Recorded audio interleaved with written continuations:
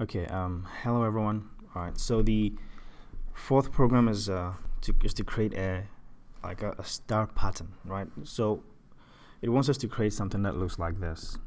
So so chapter two is more of just printing out stuff. It's it's less of um, you know processing and using loops and actually doing you know the the crazy stuff in programming, the the, the detailed stuff in programming. This is this is just printing out stuff. So we're going to use um, just print statements to to design this pretty much. Print out uh, a series of um, um, asterisks just to have it display this way. Okay. So I'll go ahead and I'll create a class as always public class and I'll call it a star pattern.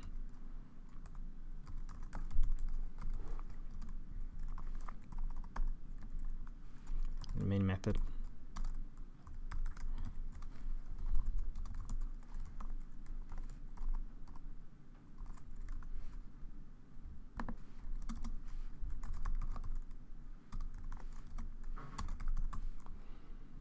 Okay, so we don't need um, any variables or anything. Although you can actually store an asterisk in a variable and keep on um, using them. I'll just go straight to the, the println statement. I'll just do, you know, this is obvious, but I'll just do it. Um, start design. So system done out print. oh, okay, I'll just start with you know what? We can actually use multiple println statements. And since the program didn't say that we should use one or multiple, I'll just go ahead and use multiple. And but but again, you can only use one and basically use the new line character to separate and break them on separate lines. But I'll just use multiple println statements just to, you know, make it look straightforward and organized and you know. But again, you could use the other one. You could use the new line character to break them using one println statement. So the first one is going to be just an asterisk, not just here. And because of the ln here, which means line, it's going to break it after displaying this. So I'll just go ahead and compile just that. And I'll first save it. Let's navigate to the folder chapter 2. Alright, I'll save it as, um, just, I'll create a new folder first and save it here.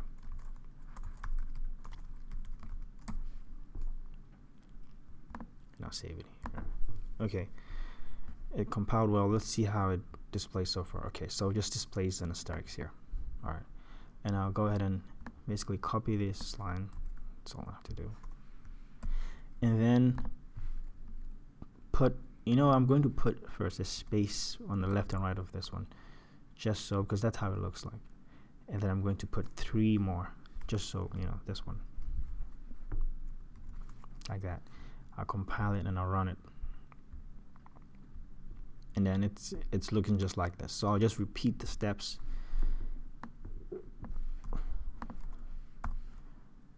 And I'll just do it a couple more times and then I'll fix it later. Oops what did I do? I didn't copy the whole thing. Okay oops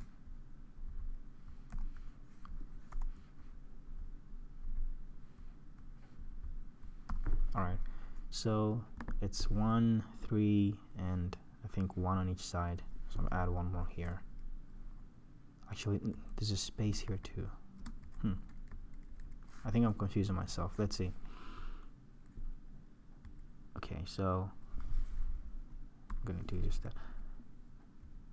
I think there yeah there are two spaces on each side of the first one and then there's one space on each side of the second one and there's no space on the third one. And then there is this is basically the, the fourth line is basically like the second one because it's going down. So I'll just copy that. And then I'll hmm, and I'll paste that. And then the last one is also basically like the first one. Yeah so I think that's it. Well although this looked like a smaller version of it but it's it's just like that so you can you can follow along and do it the same way. The first line has two spaces on the on each side. So if you want to actually make it look like this, all you have to do because you can see you have only one. Let's see, one, two, three. yeah so to create this actual design all you have to do is put three spaces on the left and then I think two spaces here and then one space here and then repeat that for the following ones I, I, I'm sure you get it so I'll go ahead and I'll run this. I'll compile it first and then I'll run it.